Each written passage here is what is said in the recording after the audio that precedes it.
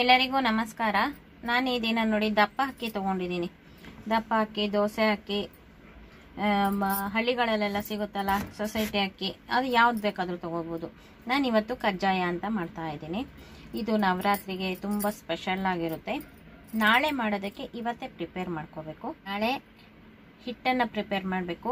ಇವತ್ತು ನೆನೆ ಹಾಕೊಂಡು ರೆಡಿ ಮಾಡ್ಕೋಬೇಕು. ನಾಳೆ ಹಿಟ್ಟನ್ನು ಪ್ರಿಪೇರ್ ಮಾಡಬೇಕು. ಅದ್ರ ಮಾರನೇ ದಿನ ಮಾಡಬೇಕು. ಆವಾಗ ತುಂಬ ಚೆನ್ನಾಗಿ ಬರುತ್ತೆ.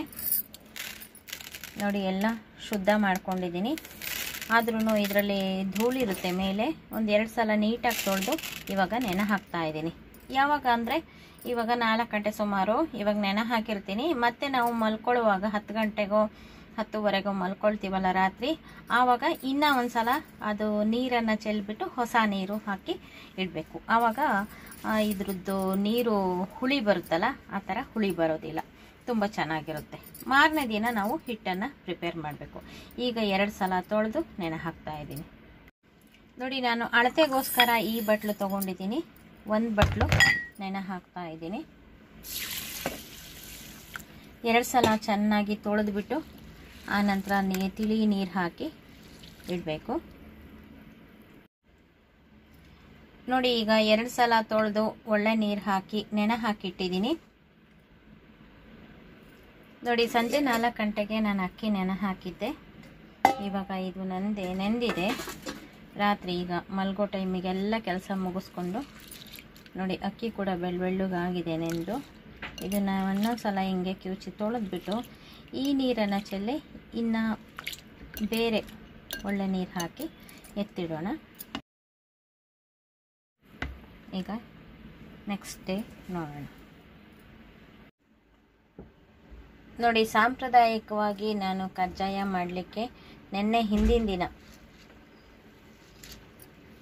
ಮಧ್ಯಾಹ್ನ ನೆನೆ ಹಾಕಿಬಿಟ್ಟು, ಮಧ್ಯಾಹ್ನ ಅಂದರೆ ಸಂಜೆ ನಾಲ್ಕು ಗಂಟೆಗೆ ನೆನೆ ಹಾಕಿಬಿಟ್ಟು, ನಾಲ್ಕು ಗಂಟೆಗೆ ಒಂದು ಸಲ ಮತ್ತು ಮಲಗುವಾಗ ಹತ್ತು ಗಂಟೆಗೆ ಒಂದು ಸಲ ಎರಡು ಸಲ ತೊಳೆದ್ಬಿಟ್ಟು ಒಳ್ಳೆ ನೀರು ಹಾಕಿ, ನೆನೆ ಹಾಕಿದ್ದೆ. ಈಗ ನೋಡಿ ತಿಳಿಯಾಗಿತ್ತು. ಈಗ ಮತ್ತೆ ನಾನು ಇದನ್ನು ತೊಳೆದಿದ್ದೀನಿ. ನೋಡಿ, ಈಗ ವೈಟ್ ನೀರು ಬಂತು. ಈಗ ಇದನ್ನು ಸೋರು ಹಾಕೋತಾ ಇದ್ದೀನಿ.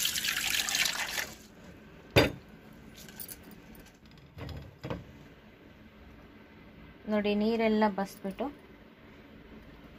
ಈಗ ಈ ಜಲ್ಡಿ ಇದಕ್ಕೆ ಹಾಕಿದ್ದೀನಿ ಜಲ್ರಿಗೆ. ನೀರೆಲ್ಲ ಹಿಂಗಬೇಕು ಆನಂತರ ಹರವಾಣ. ನೋಡಿ, ಈಗ ಒಂದು ಕಾಟನ್ ಟವಲನ್ನು ಹರಡಿದ್ದೀನಿ. ಈಗ ನೋಡಿ, ನೀರೆಲ್ಲ ಸೋರ್ಕೊಂಡಿದೆ. ಈಗ ಇದರಲ್ಲಿ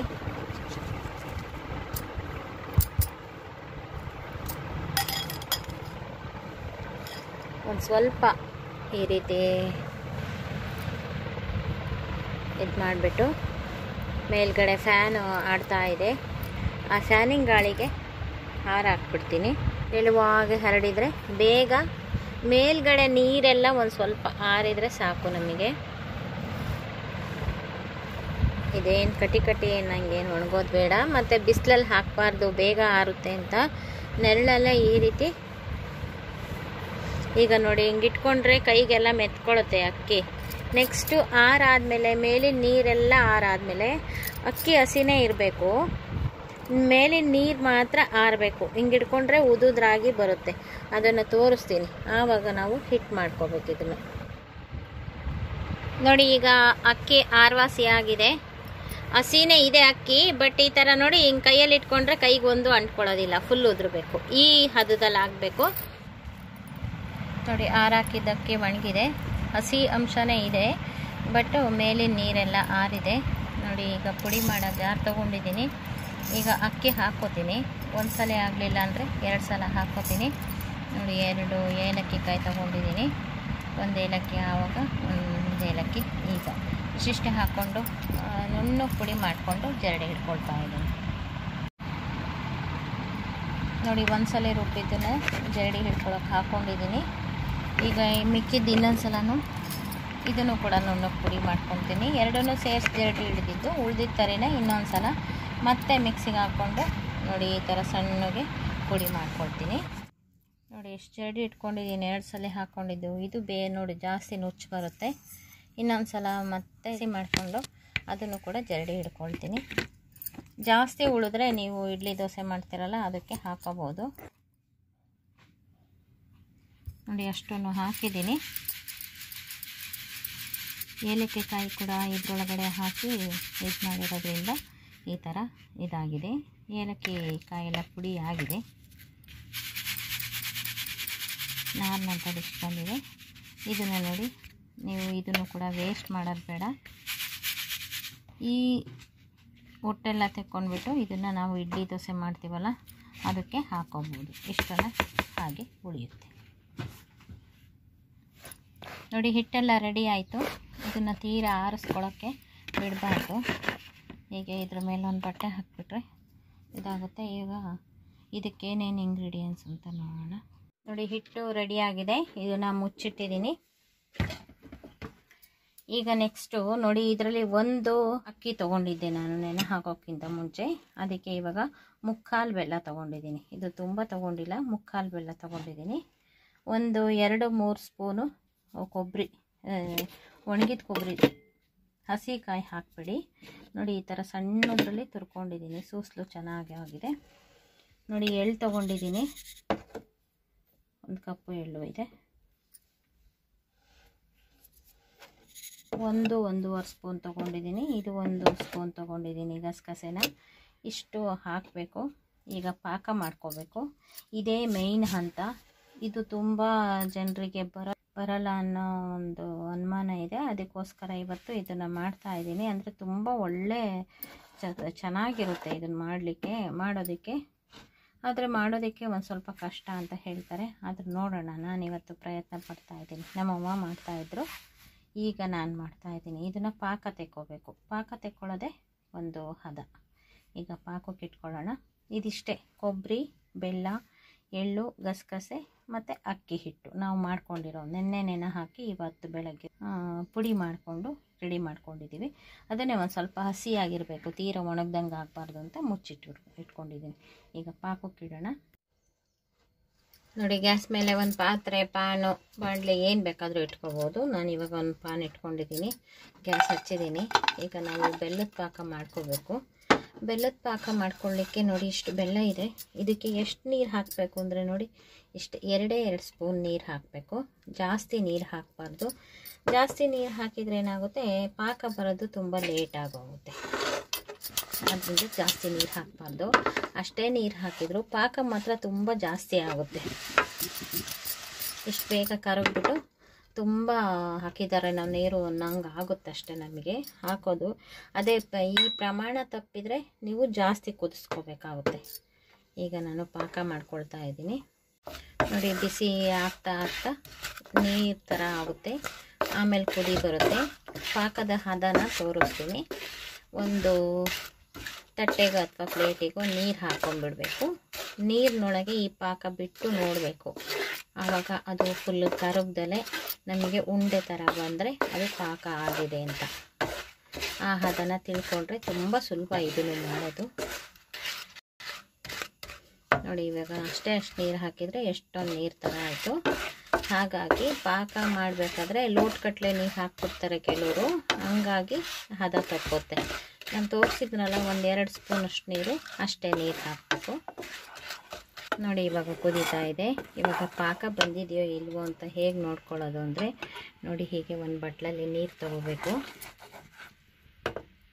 ಒಂದು ಸ್ವಲ್ಪ ಈ ರೀತಿ ಹಾಕಬೇಕು. ನೋಡಿ ಕರ್ಗೋದಿಲ್ಲ ನೀರಲ್ಲಿ. ಹಾಗೆ ಇದೆ. ನಮಗೆ ಕೈಯಿಗೆ ಸಿಗುತ್ತೆ. ಗೊತ್ತಾಯ್ತಾ? ಈ ರೀತಿ ದಪ್ಪ ದಪ್ಪ ಬರಬೇಕು. ಈಗ ಪಾಕ ಹದವಾಗಿದೆ ನಾವು ಈಗ ಹಿಟ್ಟನ್ನು ಹಾಕೋಣ. ನೋಡಿ, ಈಗ ಹಿಟ್ಟು ಹಾಕಿ ಗೂರಾಡ್ಬಿಡ್ಬೇಕು ಹಿಟ್ಟು ಜಾಸ್ತಿ ಆಗುತ್ತೆ, ಪಾಕ ಕಡಿಮೆ ಇದೆ ಅಂತ ಅನಿಸುತ್ತೆ ಫಸ್ಟು ಇಲ್ಲ, ಹಾಗೇನು ಆಗೋದಿಲ್ಲ. ಹಿಂಗೆ ಕೈ ಆಡ್ತಾನೆ ಇರಿ ಕರೆಕ್ಟಾಗಿ ಆಗುತ್ತೆ. ತೀರ ಸಣ್ಣ ಉರಿ ಇಟ್ಕೋಬೇಕು. ಫುಲ್ ಸಣ್ಣಗೆ ಮಾಡ್ಕೊಳ್ಳಿ. ಒಂದು ಸ್ವಲ್ಪ ಉಂಡೆ ಥರ ಆಗುತ್ತೆ. ಹಿಂಗೆ ಕೈ ಆಗ್ತಾನೆ ಇದ್ದರೆ ನೋಡಿ, ಇವಾಗ ಕರೆಕ್ಟು ಹದದಲ್ಲಾಗಿದೆ. ಈಗ ನಾನು ಗ್ಯಾಸನ್ನು ಆಫ್ ಮಾಡ್ತಾ ಇದ್ದೀನಿ. ನೋಡಿ ಕರೆಕ್ಟ್ ಹದದಲ್ಲಾಗಿದೆ. ಈಗ ಇದಕ್ಕೆ ಎಳ್ಳು ಹಾಕ್ತಾ ಇದ್ದೀನಿ. ಮತ್ತು ಗಸಗಸೆ ಹಾಕ್ತಾ ಇದ್ದೀನಿ. ಮತ್ತು ಕೊಬ್ಬರಿ ತುರಿ ಹಾಕ್ತಾ ಇದ್ದೀನಿ.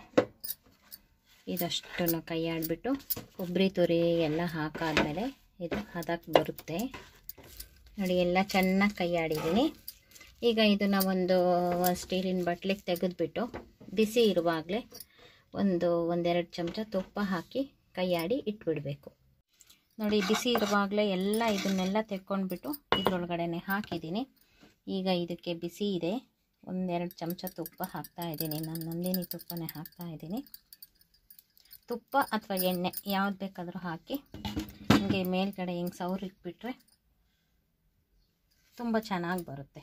ಇದು ನೆನ್ಕೋಬೇಕು, ನಾಳೆ ಬರ್ಬೋದು ನೋಡಿ, ಈಗ ಮುಚ್ಚಿ ಎತ್ತಿಡ್ತಿದ್ದೀನಿ. ನೀವು ಫ್ರಿಜ್ಜಲ್ಲೆಲ್ಲ ಇಡೋಕ್ಕೆ ಹೋಗ್ಬಿಡ್ರಿ. ಹಾಗೆ ಮೇಲೆ ಇಟ್ಟರು ಏನೂ ಆಗೋದಿಲ್ಲ ಇದು.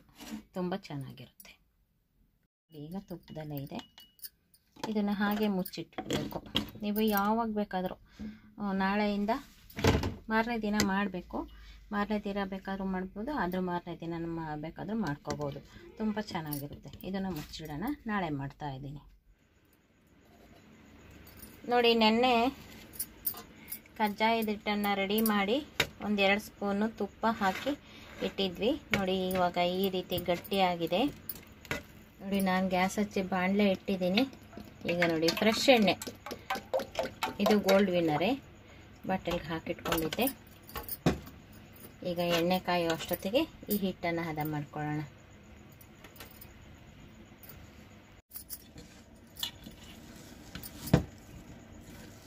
ನೋಡಿ ಹದವಾಗಿದೆ ತುಪ್ಪ ಹಾಕಿಟ್ಟಿದ್ದಲ್ಲ ನೀರೇನಾಗಿಲ್ಲ. ಪಾಕದಲ್ಲಿ ಮಾಡಿದ್ರೂ ಕೂಡ ಚೆನ್ನಾಗಾಗಿದೆ.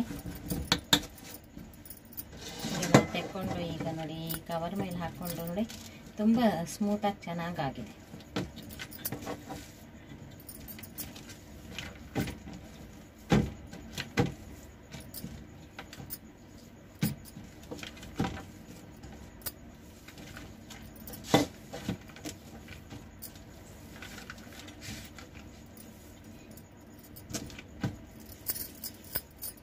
ಒಂದು ಸ್ವಲ್ಪ ತುಪ್ಪ ಕೈಗೆ ಸೋರ್ಕೊಂಡು ಈ ರೀತಿ ಹೀಗೆ ಮಾಡ್ಕೊಂಡ್ಬಿಟ್ಟು ಮಧ್ಯದಲ್ಲಿ ಒಂದು ತೂತ ಮಾಡಿ ಹಾಕಬೇಕು. ನಿಮಗೆ ಇಷ್ಟ ಇದ್ದರೆ ತೂತ ಮಾಡಿ ಹಾಕಿ, ಇಲ್ಲಾಂದರೆ ಹಾಗೆ ಹಾಕಿ ನೋಡಿ. ಒಂದು ಇಷ್ಟು ದಪ್ಪನಾದರೂ ಇರಬೇಕು. ತೀರ ತೆಳು ಮಾಡ್ಕೊಳಕ್ಕೆ ಹೋಗ್ಬೇಡಿ. ತೀರ ದಪ್ಪನೂ ಮಾಡ್ಕೊಂಡ್ರು ಚೆನ್ನಾಗಿರಲ್ಲ. ನೋಡಿ, ಈ ಥರ ಮಾಡಿ ಹಾಕೋದು. ಇದನ್ನು ಹಾಗೆ ನೋಡಿ ಈ ರೀತಿ ಇಟ್ಕೊಂಡ್ಬಿಟ್ಟು ಮತ್ತೆ ತೆಕ್ಕೋಬಹುದು.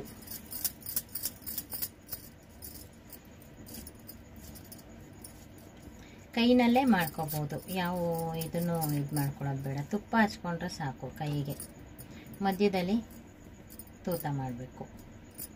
ಅವಾಗ ತುಂಬ ಚೆನ್ನಾಗಾಗುತ್ತೆ.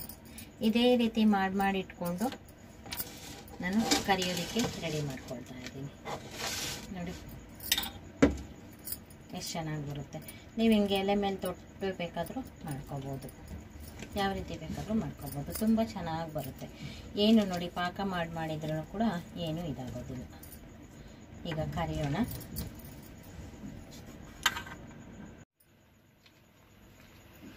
ನೋಡಿ, ಈಗ ಎಣ್ಣೆ ಕಾದಿದೆಯೇನೋ ನೋಡೋಣ. ನೋಡಿ, ಈಗ ಒಂದೊಂದೇ ಕಜ್ಜಾಯಗಳನ್ನು ಹಾಕೋಣ. ಇದನ್ನು ಯಾವಾಗಲೂ ಒಂದೊಂದೇ ಕರಿಬೇಕು.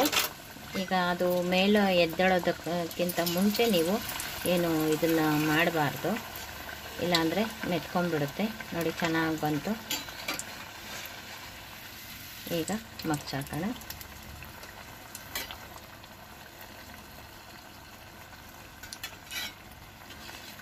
ನೋಡಿ, ಕಜ್ಜಾಯ ಅಂತೂ ಸಖತ್ತಾಗಿ ಬಂತು. ಇದು ಏನು ಅಂದರೆ ಒಂದು ಸ್ವಲ್ಪ ಎಣ್ಣೆ ಹೀರ್ಕೊಂಡಿರುತ್ತೆ. ಇದ್ರ ಮೇಲೆ ಇನ್ನೊಂದು ಸೌಟನ್ನು ಇಟ್ಬಿಟ್ಟು ಈ ರೀತಿ ಚೆನ್ನಾಗಿ ಹಿಂಡ್ಬಿಟ್ರೆ ನೋಡಿ ಎಣ್ಣೆ ಎಲ್ಲ ಎಳ್ದೋಗ್ಬಿಡುತ್ತೆ. ಹಿಂಗೆ ಎಣ್ಣೆ ಇದು ಮಾಡಿಬಿಟ್ಟು ಆಮೇಲೆ ತೆಕ್ಕೋಬೇಕು. ಈಗ ಅಷ್ಟೊಂದು ಎಣ್ಣೆ ಇರೋದಿಲ್ಲ. ಆದ್ರೂ ಮತ್ತೆ ಟಿಶ್ಯೂ ಪೇಪರ್ ಮೇಲೆ ಹಾಕಿದರೆ ಚೆನ್ನಾಗಿ ಬರುತ್ತೆ. ಕಜ್ಜಾಯ ತುಂಬ ಚೆನ್ನಾಗಿ ಬಂತು.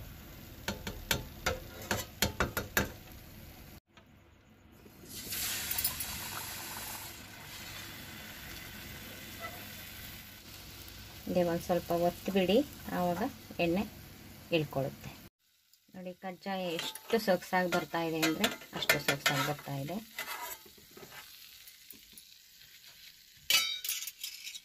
ನೋಡಿ, ಟಿಶ್ಯೂ ಪೇಪರ್ ಮೇಲೆ ಹಾಕಿರೋದ್ರಿಂದ ಎಣ್ಣೆ ಹೀರ್ಕೊಳ್ತಾ ಇದೆ. ಸಖತ್ತಾಗಿ ಬರ್ತಾ ಇದೆ. ನೋಡಿ. ಮತ್ತೆ ನೋಡಿ, ಗರಿ ಗರಿ ಅಂತ ಕೂಡ ಇದೆ. ಒಳಗಡೆ ಸಾಫ್ಟ್ ಆಗೋ ಇದೆ. ಎಷ್ಟು ಚೆನ್ನಾಗಿದೆ ಅಂದರೆ ತುಂಬ ಚೆನ್ನಾಗಿದೆ. ಸಖತ್ತಾಗಿರೋವಂಥ ಕಜ್ಜಾಯ ಮಾಡೋದನ್ನು ತೋರಿಸಿದ್ದೀನಿ ಅದು ಸಾಂಪ್ರದಾಯಿಕವಾಗಿ ಹೇಗೆ ಮಾಡ್ತಾರೆ ಅದೇ ಥರನೇ ತೋರಿಸಿದ್ದೀನಿ ತುಂಬ ಚೆನ್ನಾಗಿ ಬರುತ್ತೆ. ನಾವು ಮಾಡೋಕ್ಕೆ ಬರಲ್ಲ ಅಂತ ಅಂದ್ಕೋಬೇಡಿ ನೀವು ಕೂಡ ಮಾಡಿ, ಸಖತ್ತಾಗಿರುತ್ತೆ. ಏನು ಚೆನ್ನಾಗಿದೆ ಗೊತ್ತಾ? ಒಂದು ಸಲ ಮಾಡಿದರೆ ನಿಮಗೆ ಅನುಭವ ಆಗುತ್ತೆ. ಸಖತ್ತಾಗಿ ಬರುತ್ತೆ ಕಜ್ಜಾಯ. ನೋಡಿ ಸಖತ್ತಾಗಿದೆ.